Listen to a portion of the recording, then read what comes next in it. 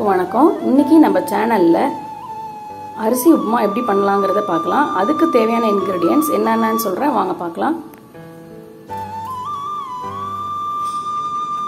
நான் இந்த ஆளாக்கில் தான் நான் வந்து அரிசியை மெஷர்மெண்ட் எடுத்திருக்கேன். இதே ஆளாக்கில் தான் தண்ணியும் எடுத்திருக்கேன். நான் வந்து நொய்யரிசி எடுத்திருக்கேன். நொய்யரிசி எடுத்து ஊற வச்சு நல்லா வாஷ் பண்ணி எடுத்து வச்சுக்கிட்டேன். இதால் நான் ரெண்டு கப் எடுத்திருக்கேன். எங்கள் வீட்டு அரிசிக்கு வந்து ரெண்டே முக்கால் கப் தண்ணி ஊற்றுனா சரியாக இருக்கும். அதுக்கு தேவையான தண்ணி ரெடி பண்ணி வச்சுருக்கேன். ஒரு ஒன்றரை மூடி தேங்காய் ரெடி பண்ணி வச்சுருக்கேன். இப்போது நம்ம உப்புமாவுக்கு போடுற என்னென்ன இன்க்ரீடியன்ஸ்ங்கிறத பார்க்கலாம்.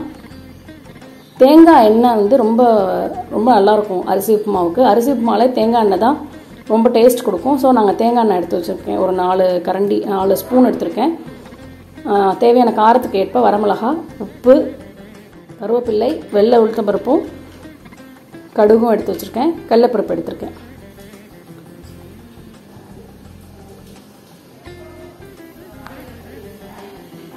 உப்புமா பண்ணால் ரொம்ப டேஸ்டியாகவும் இருக்கும். அந்த காலத்தில் வெங்கல உருளியில் தான் எங்கள் வீட்டிலலாம் பண்ணுவாங்க.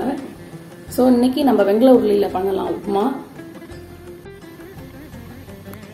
வெங்கல உருளி சூடாக கொஞ்சம் டைம் எடுக்கும். ஸோ நான் ரெடி இப்போ சூடு பண்ணி ரெடி பண்ணி வச்சுருக்கேன். நல்லா சூடாக இருக்குது இப்போது நமக்கு அதுக்கு தேவையான தேங்காய் எண்ணெய் ஊற்றிக்கலாம் தேங்காய் எண்ணெய் ரெடி பண்ணி வச்சுருக்கேன். ஒரு மூணு டீஸ்பூன் எண்ணெய் ஊற்றிக்கலாம்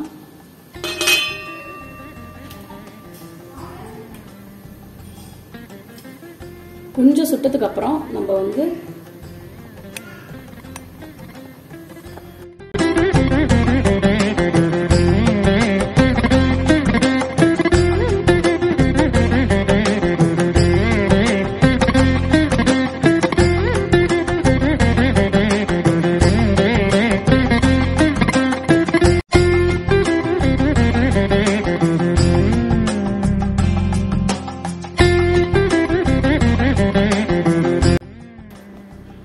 அடுத்தது பெருங்காயம்.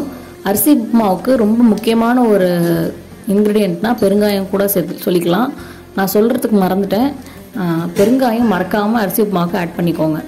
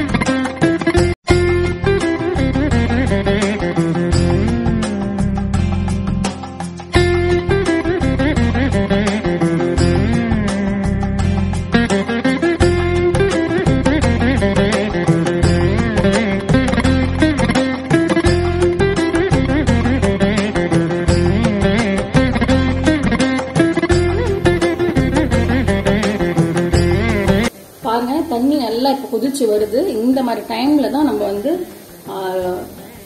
களைஞ்சி வச்சிருக்கிற அரிசியை போடலாம். நொய்யரிசி எடுத்து வச்சிருக்கேன். அதை போட்டுக்கலாம் இப்போ.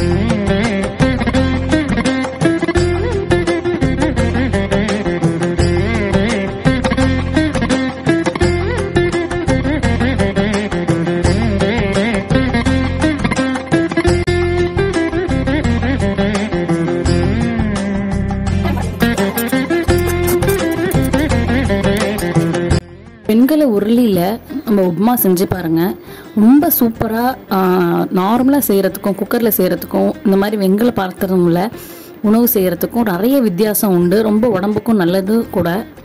அட் த சேம் டைம் இந்த அரிசி உப்புமா அவ்வளோ டேஸ்ட்டாக வருங்க.